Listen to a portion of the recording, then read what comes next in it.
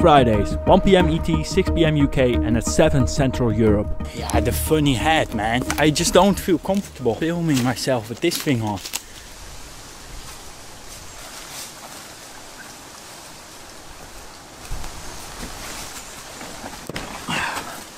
Folks, on the edge of the woodland here, it's autumn. Got my survival knife. Ooh, let's not get dirty. Eh. SA6, and today that's all we got. Well, it has some paracord on it, some secret needy tricks in the back here, but that's for later. Got a water bottle, backpack full of camera gear, drone, two cameras, GoPro, and first aid kit. Mainly that.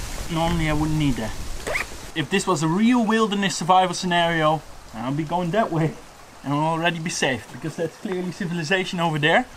Weather is good at the moment, but you know, this is Ireland. Before you know it, the rain comes in, so we better hurry up and get a bit of a shelter going before darkness. And that's not a lot of time anymore. Only two hours, I'd say, and it is getting really dark, dark already. Ooh.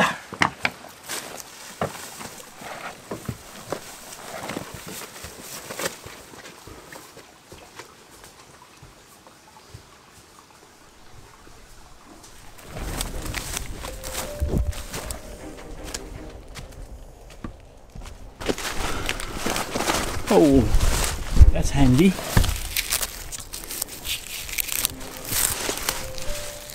Terrain is really uneven. Badger, I think. Or is it a foxhole? Oh.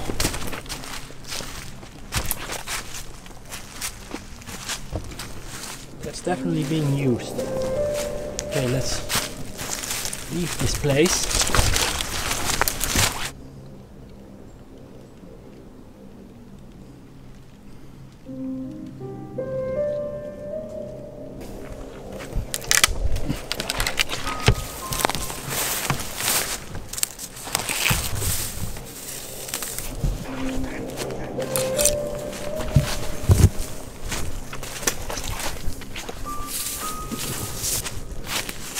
Where are we setting up camp, folks? It's difficult. Yeah, one big swampland up ahead on that side. You gotta go all around, but we're losing daylight. Hmm, tricky business here.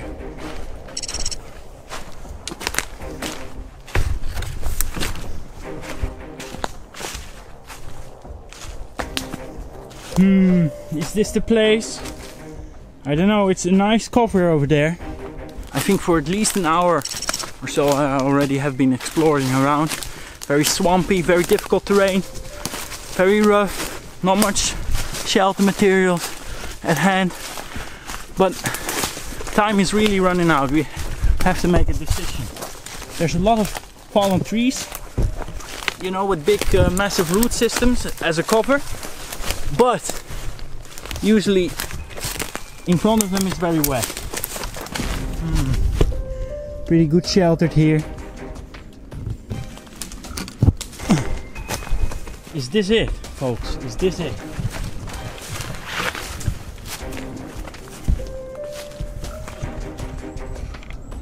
Ah, there are holes in it.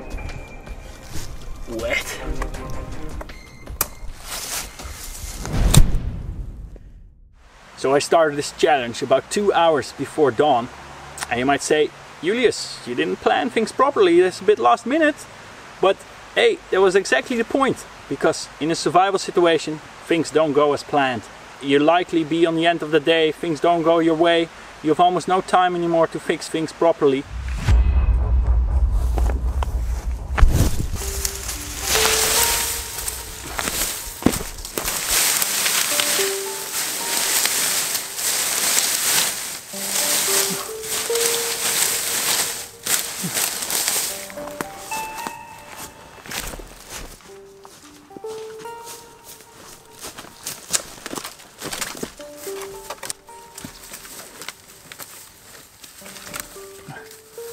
Yeah as it is still dry? I figured. Let's get fire material and get that sorted. But now the question is do you put time in your shelter? Make that proper. Do you put time in making a fire? Initially I thought tomorrow is fire and today I just make a good shelter and that's it. But now I'm I'm doubting it again. I almost have no light left to make this shelter proper. So maybe the last bit of light we should use to try and make a fire. But if we not succeed, we need to have shelter, you know? The question I often ask when doing these kind of challenges, of course it depends on the circumstances. Dylan and me, we put this actually in a reality uh, scenario. One of my favorite Smooth Gefixt videos, the shelter battle, where we both make two shelters and uh, see what performs best. The lean-to variant with fire or debris shelter. Oh, that's handy with an SA, isn't it? A little bit damp still. I don't think it's dry enough. What this piece then? No.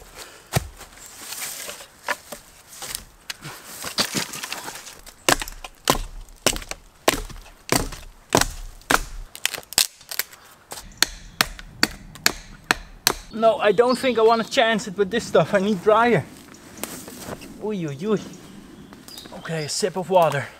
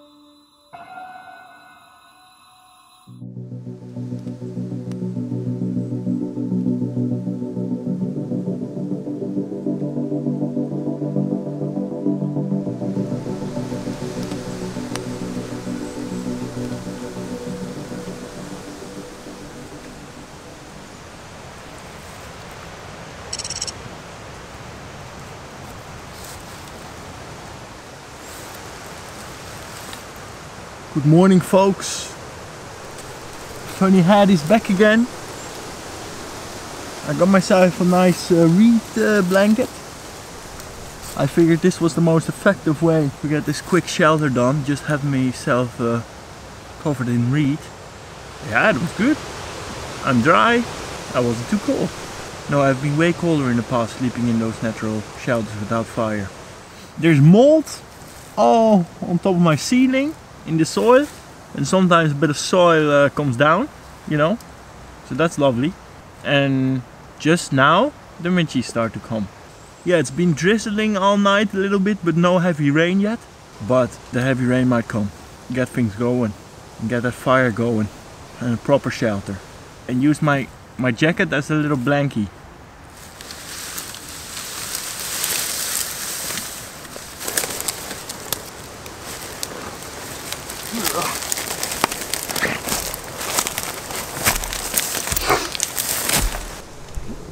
my firewood should be nice and dry behind there. Yeah, look. I need that one.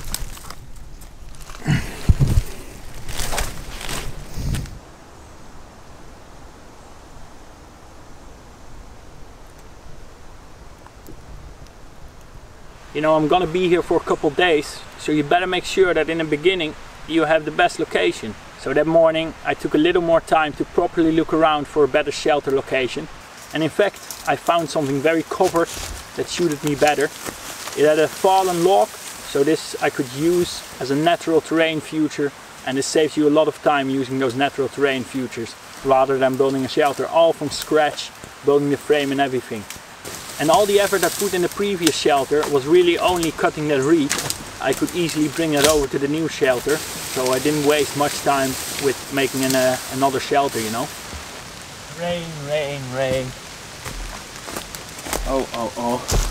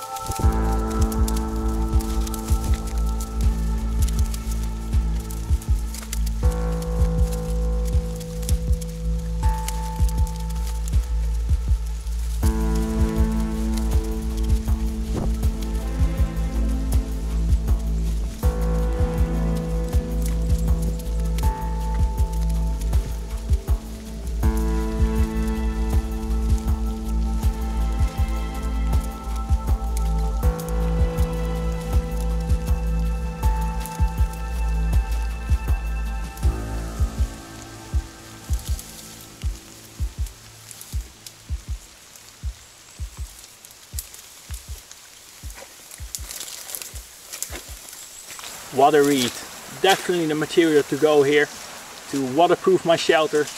It's uh, easily harvestable in large quantities. And uh, I was thinking is this what future roundhouse episode days are gonna look like? Harvesting reed. We'll see. The midges. Oh, you know loud Look how the drips slide over the reed leaves.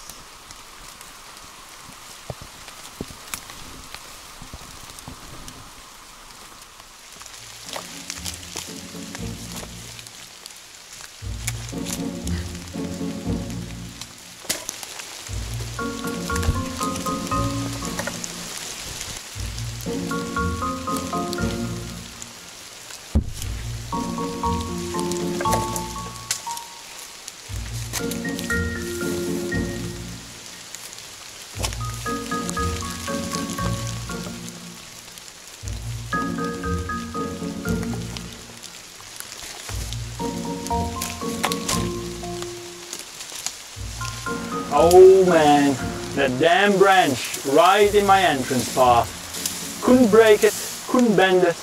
Kilo calories wasted.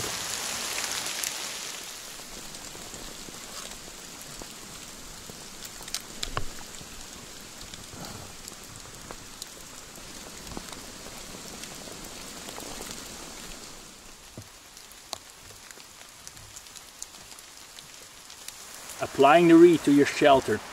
Do you put it the way it grows or do you put it upside down with the leaf tops on the bottom? This is an interesting one um, and I've seen discussions about this in the bushcraft community in the past. And for thatching a roof you definitely put the tops of the reed on top so the way it grows. But with thatching a roof the reed doesn't have its leaves anymore. In this case the reed does have leaves and we're using it as a natural shelter so in this case I think it is better to put the reed upside down. So I think I should have put them the other way around than I did here in the video. Because this way the leaves are all over the place on the top. And I think water would more easily shed in this way. Oh man. Soaking. Soaking wet. I think it will continue for the whole day. I'm happy I have my dry fire material, but even then, in this circumstances, it's tricky.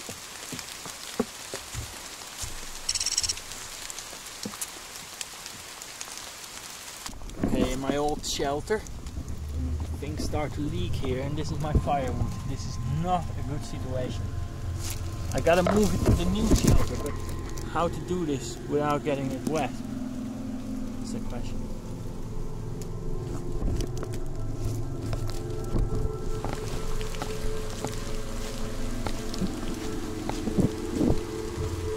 I found this yesterday and here I probably can keep my stuff dry.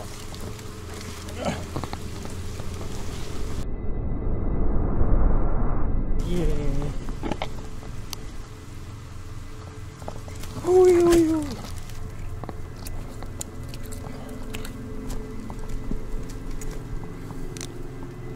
The tinder. Pick that up with stick. Not get it wet there.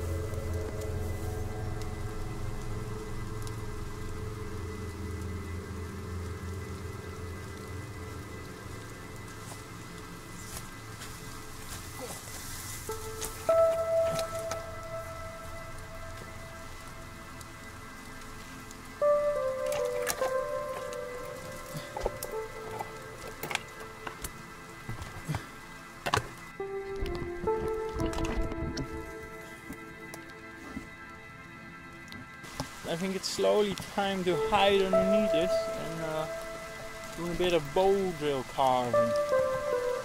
But wish me luck man, under these circumstances it's for no one easy. Soaking, soaking.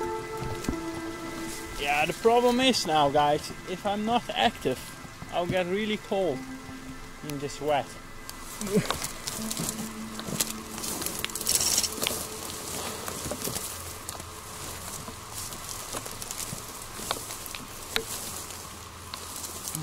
shelter, folks, my shelter.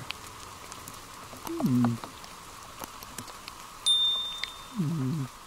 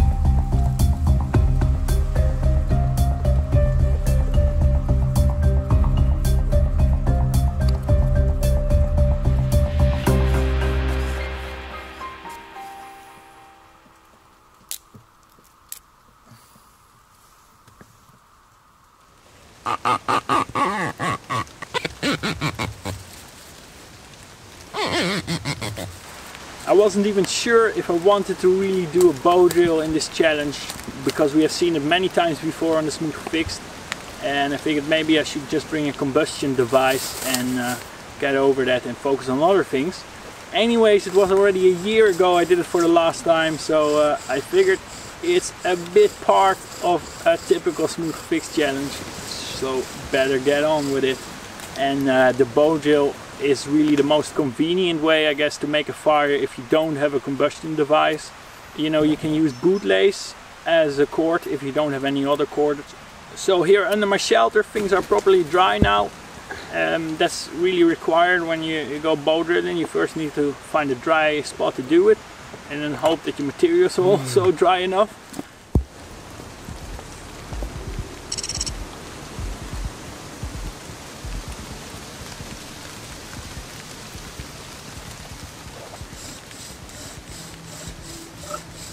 So I start with slowly warming up that drill set without giving much pressure or pace. So uh, it takes barely any energy here. Uh, and then wait for the first smoke to, to arise.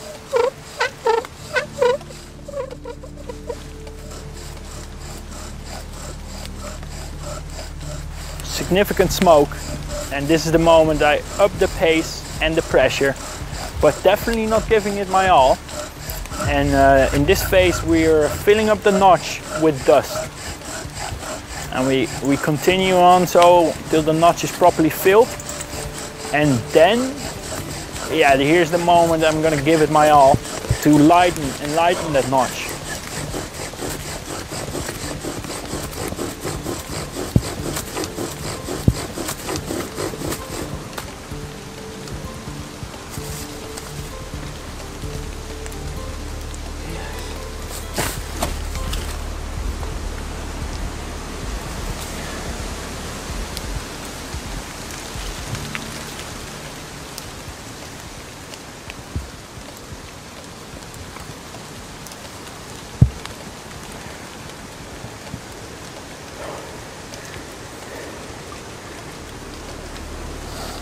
very close.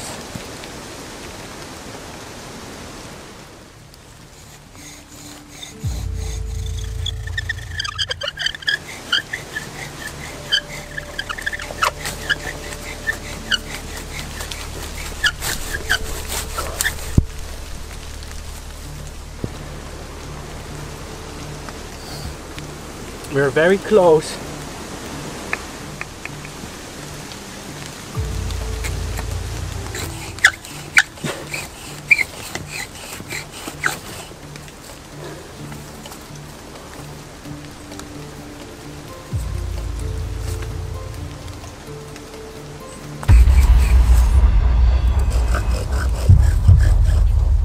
Folks. I'm gonna drink my last sips of water. I'm gonna take out my jacket and then I'm gonna give it my all. Maybe also put the funny head off. Maybe that helps. Let us be blessed. At least it kind of stopped raining a bit. We've seen it in the past here on Smooth Gefixt. Doing the bow drill under these circumstances in uh, wet conditions, it has been difficult. One really shouldn't underestimate how difficult the bow drill can be. Um, in warmer climates, a bow drill can be very easy, but here the atmosphere is completely damp. And my theory on it is that under these circumstances, even if you have proper bow drill technique, and you have decently dry materials, the bow drill is very hard and sometimes impossible. However, I think you need another technique to dry out your board and spindle. And this is called drying runs. Do a few drying runs before you start the real bow drill attempt. And it's a pity I don't apply this technique here because I knew already about it at the time but you're so much in the mindset of I'm almost there, let's try one more time and we get there. We got a lot of brown dust, but it just doesn't ignite.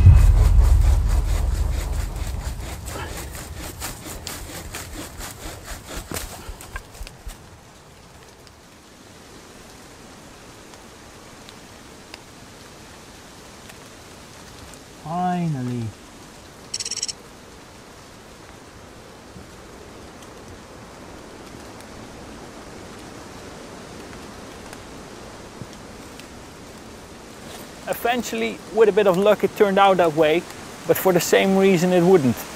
And I think then really those drying runs would have been the way to get it all done very smooth. And to see this in practice and test it out, Dylan and me felt inspired to do a little bow drill battle between each other. And uh, we used different techniques there and different materials. And uh, we'll see how and who gets the bow drill going that way. Uh, that's very interesting and stay tuned for that. It's a video coming up soon.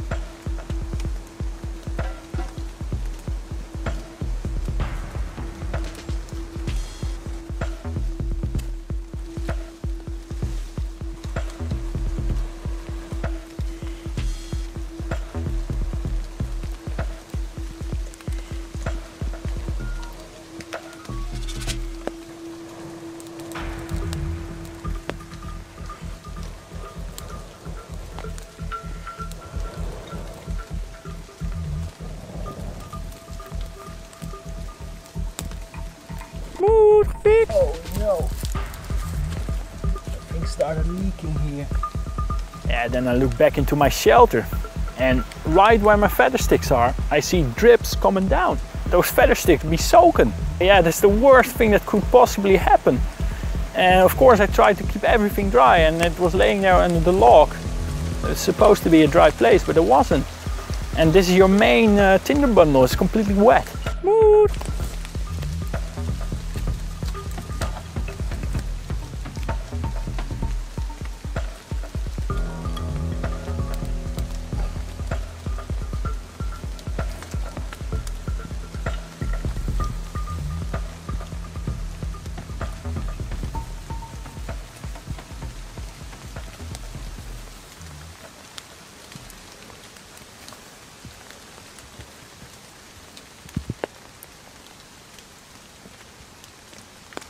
Could very well be that you're cringing a few times when I touch those sticks and move them around.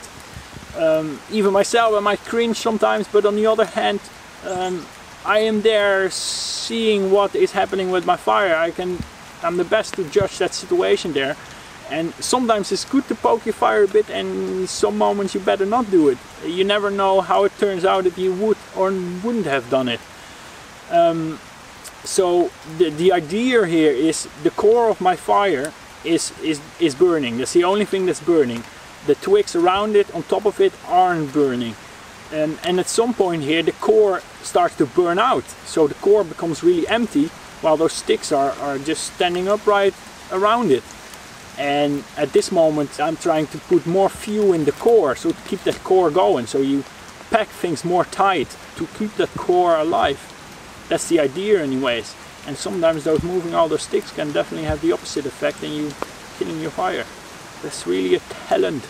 You have to develop that skill feeling over the years by, by managing those fires under these hard circumstances.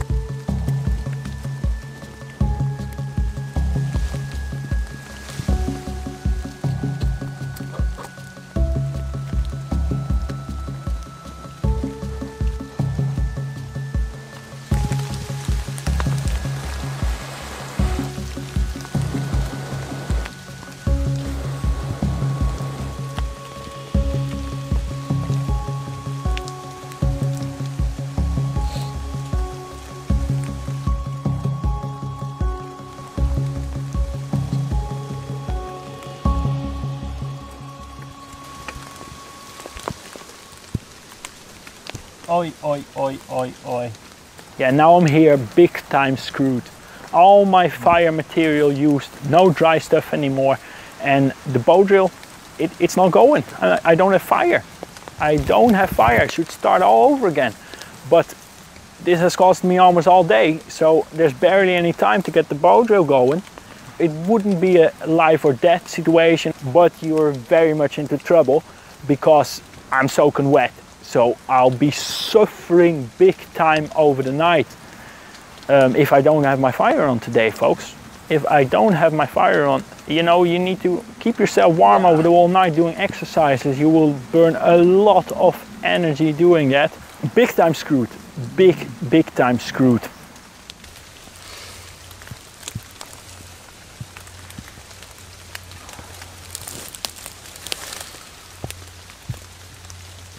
So I make the choice here to use some of my emergency equipment.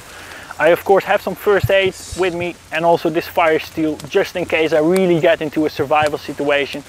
You know, it's not like the TV shows where people get a lot of money to do some surviving, you know. It really has to stay a little bit of fun. So I make the choice to uh, use that fire steel and it's a big disappointment to myself.